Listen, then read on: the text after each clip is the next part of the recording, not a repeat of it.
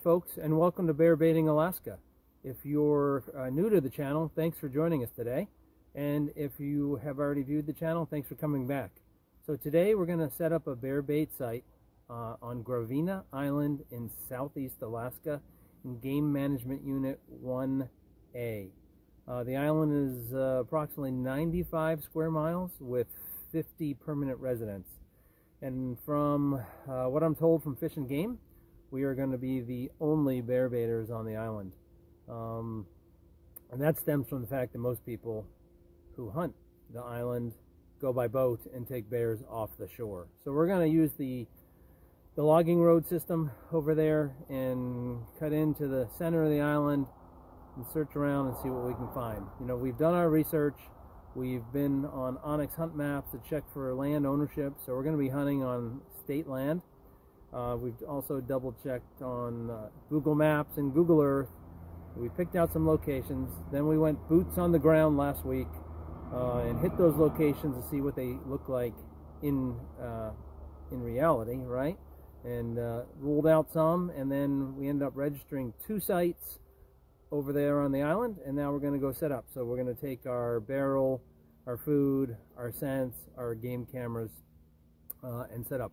We're not going to set up a blind right now because, again, new to the area, I don't know, you know, I don't know what's uh, in what areas at this time, and so we'll just bait, we'll leave it, and then if we have uh, any luck in another week, 10 days or so, then we'll then we'll set up a blind, and uh, over there most likely uh, a ground blind, but not not necessarily. I'll have to see as we as we progress. So anyway, I'm going to save you the video of us getting in the truck, driving the road, getting on the ferry, crossing on the ferry, unloading off the ferry, and driving the road again. We'll save that for some travel channel, okay?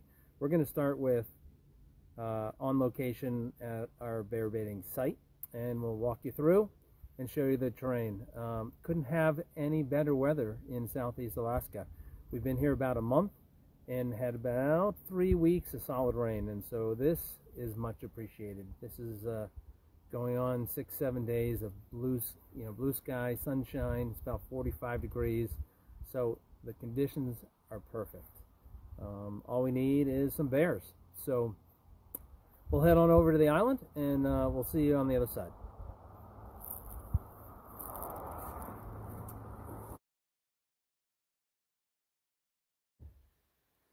Hey folks, and welcome to Bear Baiting Alaska.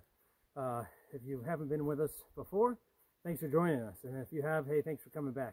So today we're on Gravina Island in Alaska. We're trying something new. We're in the far southeast in Unit 1A. Uh, I'm in the center of the island, uh, accessed by logging roads. If I seem sweaty and out of breath, it's because I just hauled all our baits and the barrel down to the site. And so we're we're off this logging road. You know, I did my homework. I looked at onX Maps for ownership of land, Google Earth, Google Maps, uh, and then I spent a weekend a couple weeks ago scouting the island for locations.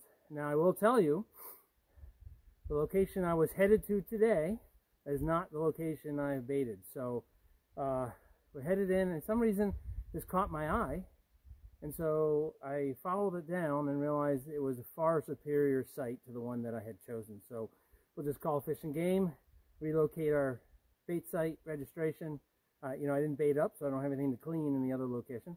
And uh, we'll start from there. Today is the first week of the bear baiting season here in Alaska. And so I want to show you this trail because uh, uh, I'll show you why it was appealing to me as I, I just somehow took a hike. So hold on, let's let's walk down. Okay, so we're gonna go down, and uh, the island is full of these trails, which initially I thought, oh, look at all the bear trails, but in fact they're Sitka black-tailed deer trails, which makes more sense um, on this island. And so I followed it down. There's a clear trail. Again, these are bear trails, but I mean uh, uh, deer trails, excuse me. So, but as I followed it down,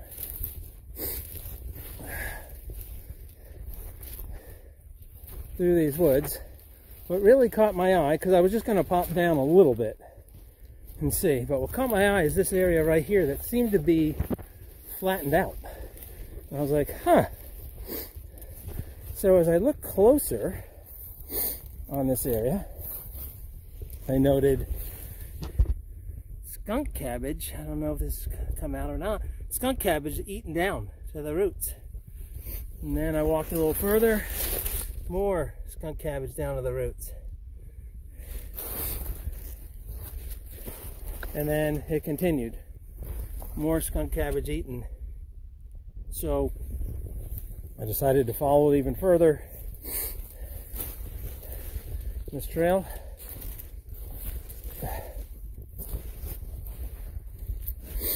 And by the way, a beautiful day in Southeast Alaska.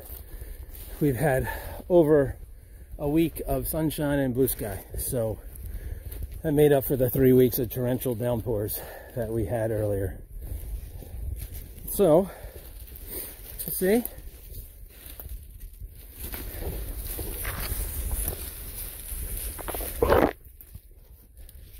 And this trail, which also is covered in deer scat, opened up to this small bog and then a creek. And as you can see I put my barrel right in the center of this perfectly formed bog. And it's in a little hollow I know you don't have smell smell vision but I just baited up and I doused the entire area in Nasty Boar from Batum 907 and it is exceptionally uh, ripe this year. I don't know what Jess did to the recipe, but uh, my eyes are watering and I'm quite a ways away. And so I've just, I've, I have sprayed all of the foliage, the trees in this area in this little bowl with Batum 907 Nasty Boar. I've got a couple bags of dog food.